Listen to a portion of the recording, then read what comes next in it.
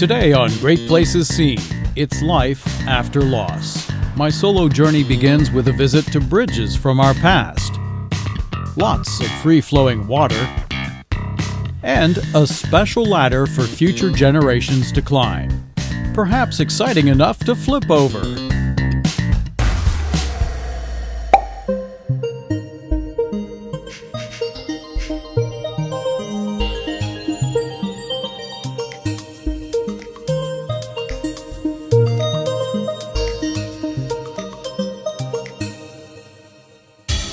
Time to uncover the tab, get it ready for the road. It seems to be a personal travel tradition rain.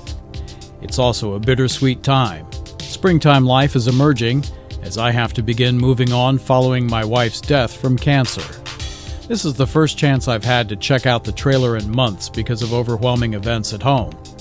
All thankfully seems to be in order as I hitch for a quick weekend trip to dewinterize and have the trailer ready for eventual travel later in the summer.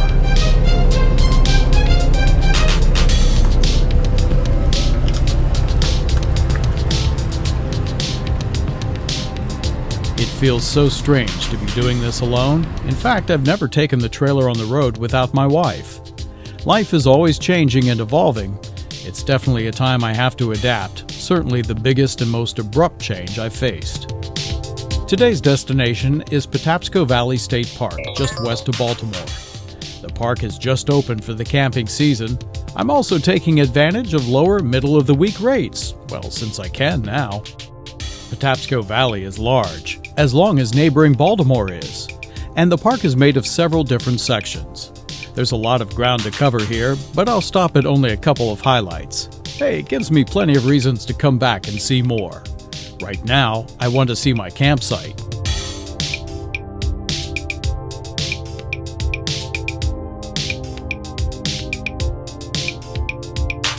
It's potable and it's portable. So here I'm filling up the uh, freshwater tank for the first time this season using a uh, flow meter to tell me how much water is going in. Well, roughly at the 12 uh, gallon mark. Yeah, we're getting there. All right, at the uh, 20 gallon mark.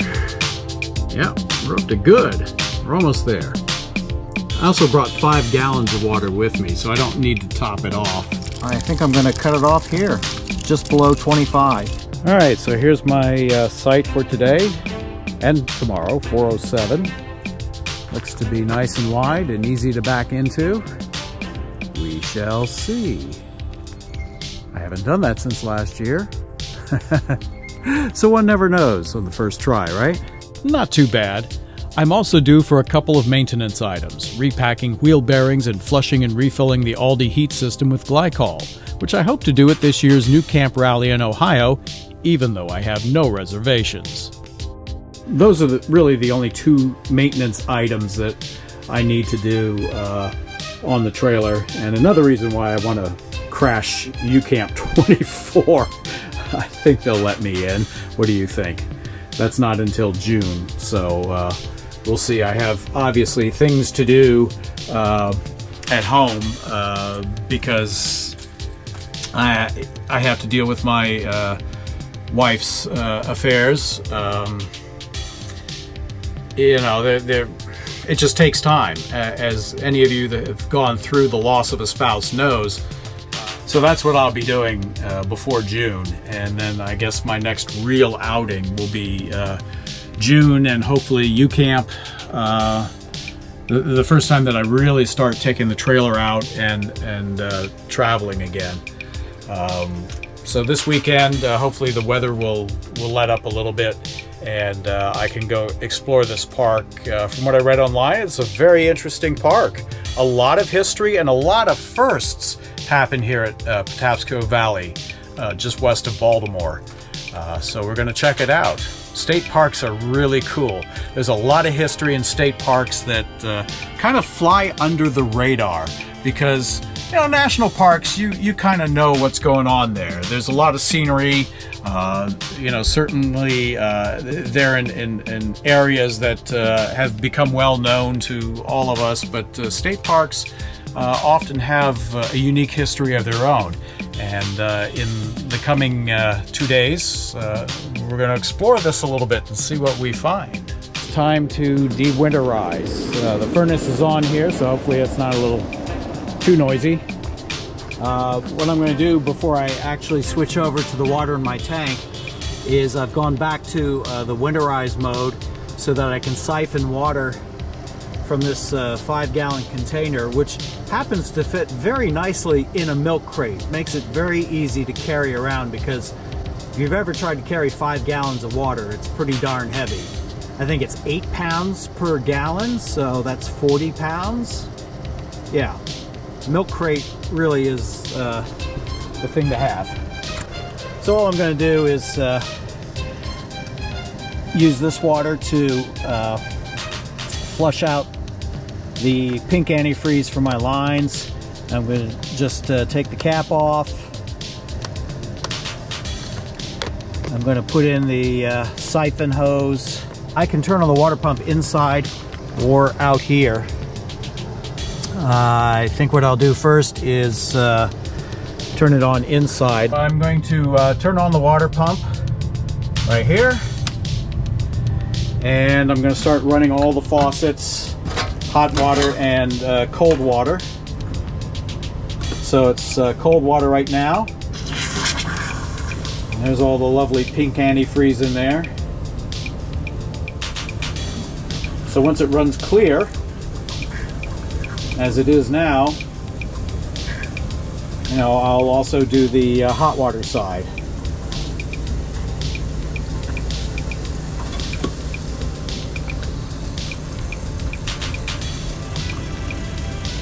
Let that run through until it's clear. All right, kitchen sink is done. On to the bathroom sink.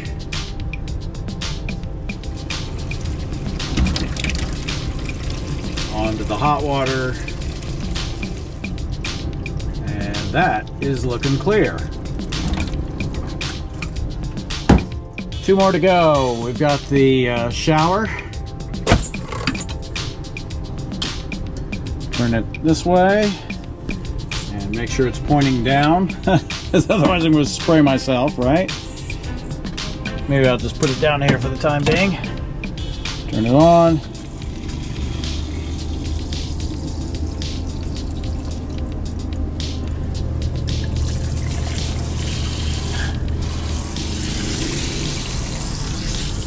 Do the other direction.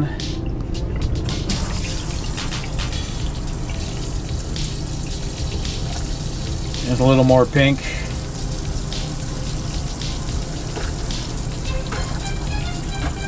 Thank you antifreeze for keeping my lines safe.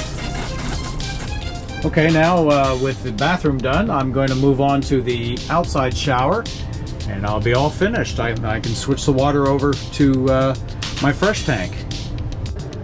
All right, with the flush done, I'm just going to uh, switch this now to dry camping since I have uh, water in my tank. And now that's going to put water into my Alde system and I can uh, heat my water very quickly, which would be nice. Is this difficult? No. Is it a chore? Yes. But it's not a big chore. Winterizing, de-winterizing, it's pretty darn simple. One tip with the Alde system is uh, that I heard from UCamp, about every week you should drain your hot water from the uh, low point outside because the uh, tank here needs what they call a water jacket. The water jacket basically is, you, you just need a little bit of uh, air in the top of the tank there so that water can expand. As you drive down the road and everything shakes uh, that water jacket disappears. It just fills up with water and there's not room for it to expand properly. And uh, that can damage your Alde system. So about every week uh, while you're on the road go ahead and drain from the low point and then you'll restore that water jacket in your Alde system. If you have a tab, right? Uh, the furnace is nice, but uh, I prefer using uh, heat from the Alde system. Now that it has water in it, I'll turn it on. Uh, to me, the uh, heat pump is not quite as efficient as uh, Alde is. So uh, this claims it's 55 degrees in here now. And uh, what'll happen is the water will heat up and uh, and also the glycol and I'll, I'll begin to get radiant heat throughout the trailer which is really nice. It works very well. My TV viewing really is minimal when I'm out in the trailer, but still, I like to put an antenna up and see what's uh, available in each area. Looks like uh, we found 81 so far. Uh, Patapsco Valley is very close to Baltimore, so it, it's no wonder there are a lot of stations here. Yeah, I don't think anything that really interests me. I'll buy a vowel. Well, good thing I don't have to deal with that. And look, I get a weather warning too. Flood warning in Howard County, which is, well, where I happen to be right now. Uh, but I, I, spoke with the uh, uh, park ranger and he told me that uh, really they don't expect any issues here in the park, even though it can be prone to flooding. Uh, it should be okay. And tomorrow's supposed to lighten up, which would be nice. Well, you may have wondered what these are. They're actually um, camping air mattresses, as I have not bought a real mattress for this uh, camper yet. Um, I'm using these, and actually they work pretty well. So uh, one of my uh, purchases this year is going to be a uh, honest to goodness mattress uh, for the trailer, and also uh, an awning. It's a rookie mistake. I didn't open the roof vents overnight and now I have condensation. Fortunately, it'll dry fairly fast, but it's everywhere.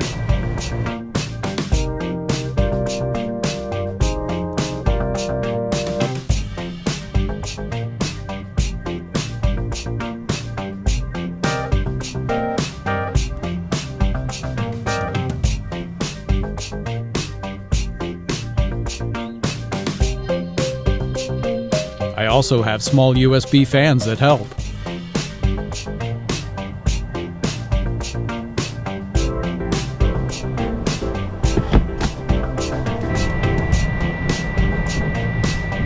Well, shades of UCamp 2023, uh, there's a little hailstorm going on here. Not very big pellets, but you can see nonetheless uh, a little bit of uh, a little bit of sleet, hail. Did not expect that. And minutes later, some blue sky is back.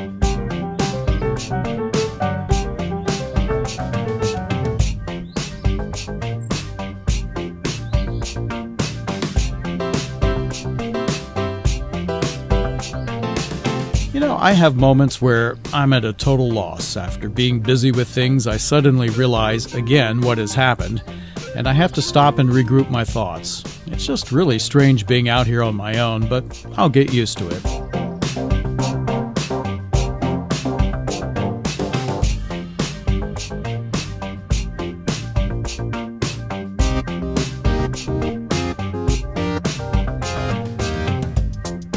Well, that's probably the best I've slept in the last uh, three weeks since my wife's passing. Um, very nice and quiet out here, and um, just a good getaway. Um, let's go explore. It's a park of many firsts. For me, the first arrival without a reservation, first time on my own, and first time at Patapsco Valley.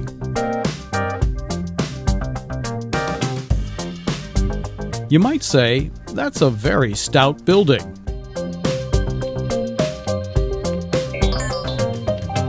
The Avalon section of the park includes what used to be known as Relay, an area where the B&O Railroad came out of Baltimore and was the primary link with Washington, D.C. before heading west across the country.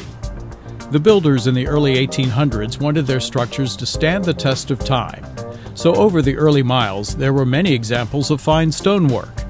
That standard became too cumbersome and expensive, and the ideal gave way to more practical railroad building as the push westward continued.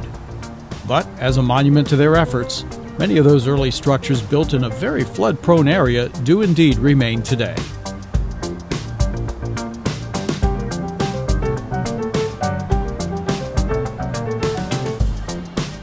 If you have ever driven on I 95 south of Baltimore, then you've passed the Thomas Viaduct, named after Philip E. Thomas, the first president of the Baltimore and Ohio Railroad, the country's first commercial railroad.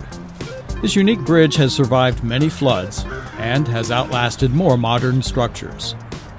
Completed in 1835, the Thomas Viaduct was among the largest stone arched bridges in addition to being the first multi arched curved stone railroad bridge in the world.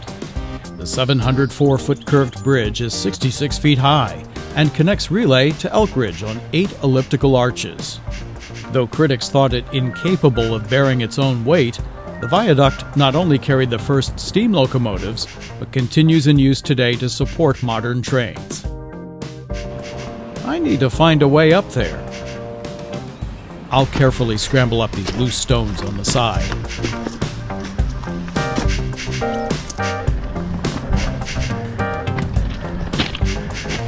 Up top is quite a view, and once a very special location. In 1873, the picturesque Viaduct Station Hotel stood here. Once a vacation spot, the town of Relay eventually ceased to be a major train interchange location the hotel then became railroad employee housing and storage before being demolished in 1950. The McCartney Monument remains, an obelisk erected in 1835 by contractor John McCartney to commemorate work on the Thomas Viaduct by hundreds of immigrant workers, several who were killed during construction. The Thomas Viaduct followed the first railroad bridge in America, the Carrollton Viaduct, in 1829. This rail line also had presidential firsts. Andrew Jackson was the first sitting president to ride a train on the B&O in 1833. James Polk boarded right here in 1845 to become the first president elect to ride a train to his inauguration. Abraham Lincoln also rode to his inauguration through relay.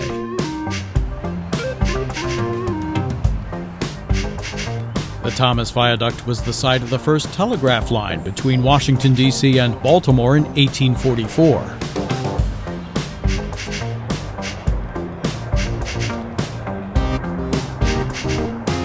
Patapsco Valley was the location for so many other firsts in the country's early development and is Maryland's first state park, being dedicated in 1907.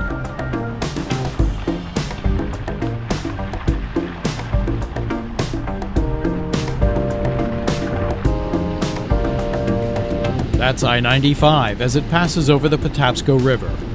The geography of this valley and the volume of water flow makes serious flooding a constant threat. Even with modest rainfall, the river is moving swiftly. Yes, it's the same river where the 2024 Key Bridge accident took place, not far downstream.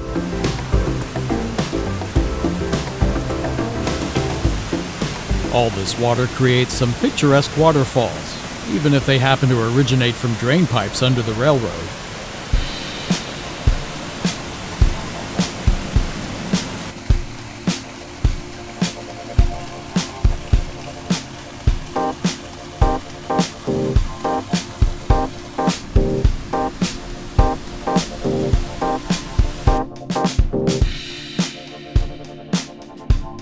From the Thomas Viaduct, a short drive along the river brings us to another unique bridge.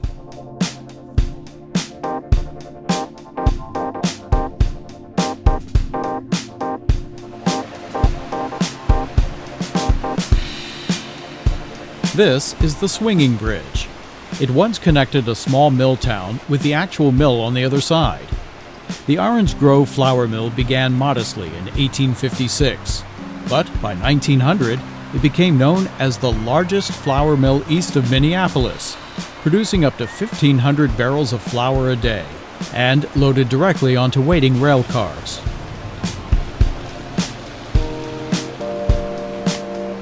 All that quickly ground to a halt in 1905 when a fire destroyed the mill. Most of the remnants were later swept away by Hurricane Agnes in 1972. Parts of the stone retaining walls are all that's left. The swinging bridge was a commuter link. In 1900, 41 people lived across the river from the mill. 19 of those were children. Today, the bridge is a key part of a long park trail.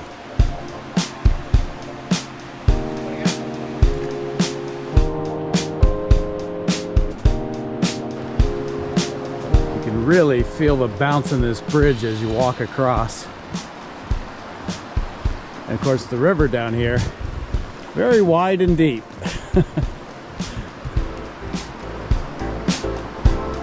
oh, yeah.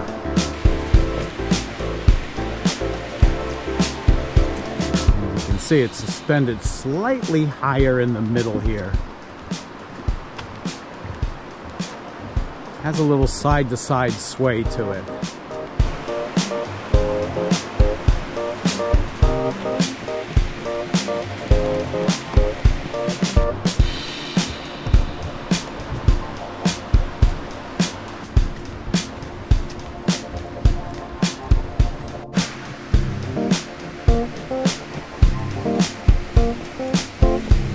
Every trip over deserves a return trip. It seems bouncier going this direction.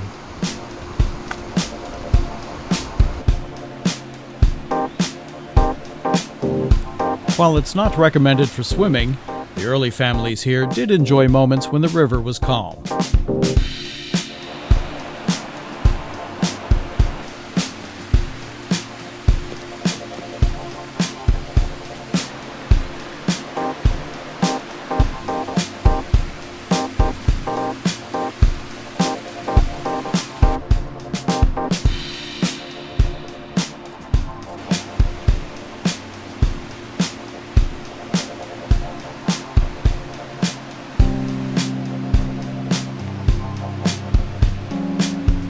Here in the early 1900s is where ideas for this park began.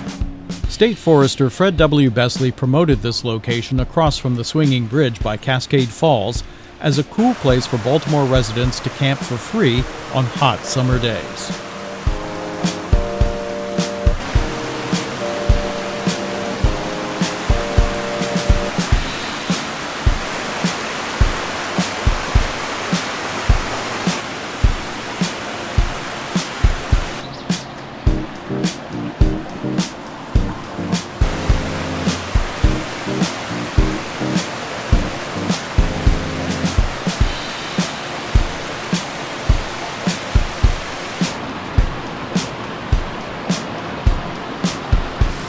Not so adventurous today to hike all the way back through the woods to see if there are more falls than that. But nice nonetheless.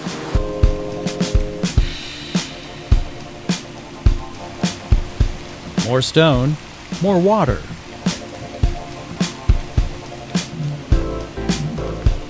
Lots more water.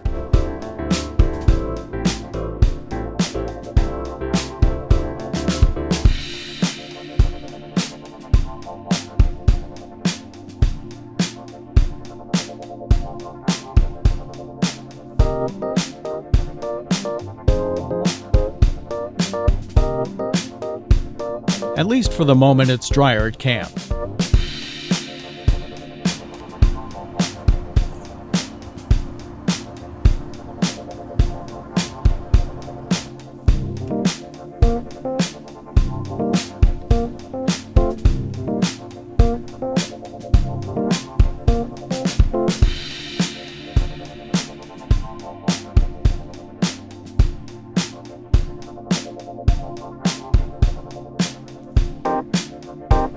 A little sunlight and a few visitors.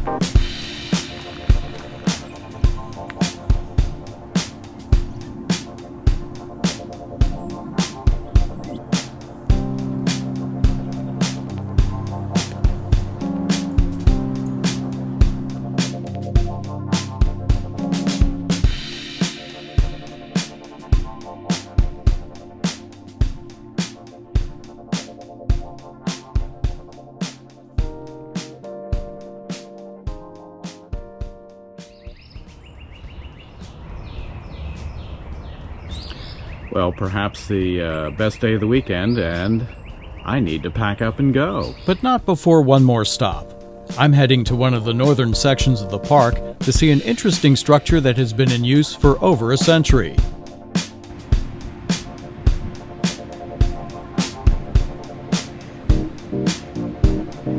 This is a quiet portion of the Patapsco River in the Daniels area of the park, which attracts waterfowl and seems to be a good place for fishing.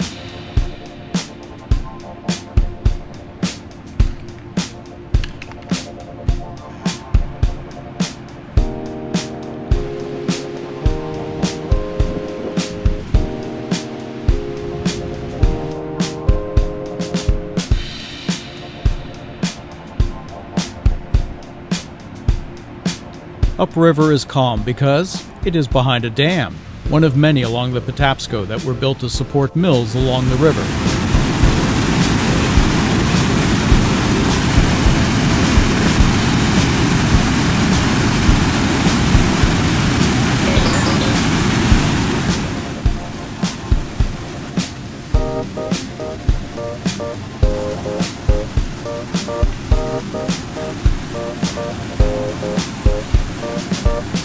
Like elsewhere, there's plenty of old stonework remnants in this area.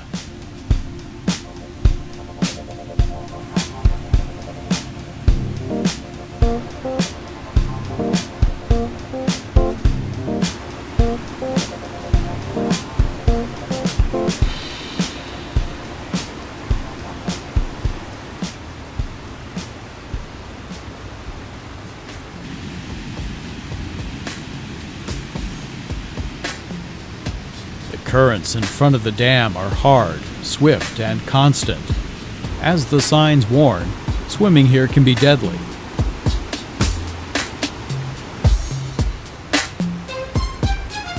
For fish, navigating the turbulent waters is even harder. Several species spawn in the Patapsco. Young fish swim as far as 2,000 miles away into the salty ocean. When mature in a couple of years, they instinctively come back another 2,000 miles to lay eggs in the fresh water. But the dams prevent their ability to go far enough upstream to the calmer areas.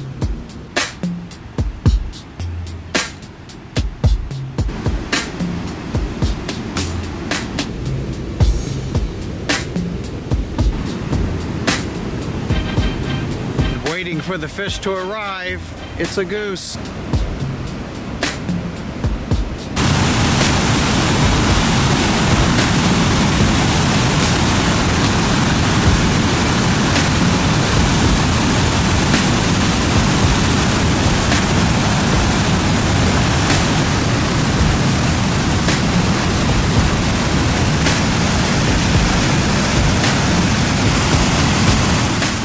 How do fish get past this?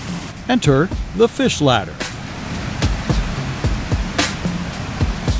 Despite the foaming, churning water, fish are able to find the ladder entrance to the left of the dam. They can then make their way through successive sections that slowly elevate them to the top of the dam.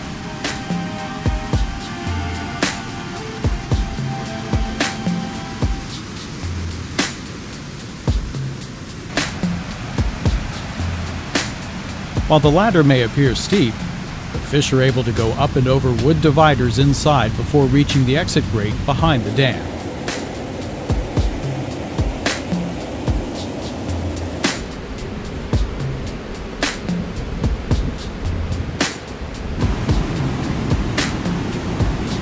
A simple wheel opens and closes the water flow, allowing the ladder to be open during spawning season and closed over the winter.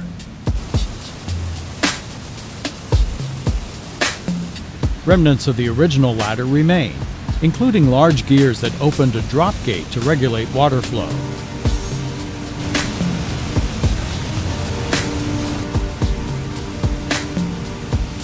The first fish ladder in Maryland was built at the Orange Grove Flour Mill in 1856. Although that dam and fish ladder are no longer there, this fish ladder remains in use. It has been modernized, but still functions as originally built.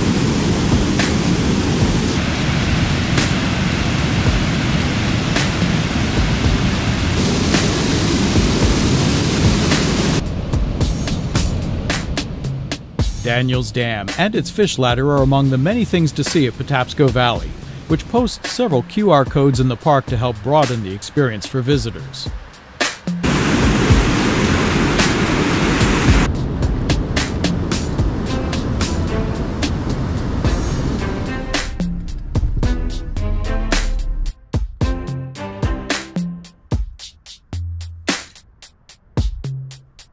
Time to hitch and go. This quick trip sets up a second half of the year for travel. Thank you for continuing to follow the channel during this difficult time for me. I'm looking forward to soon sharing more great places to see.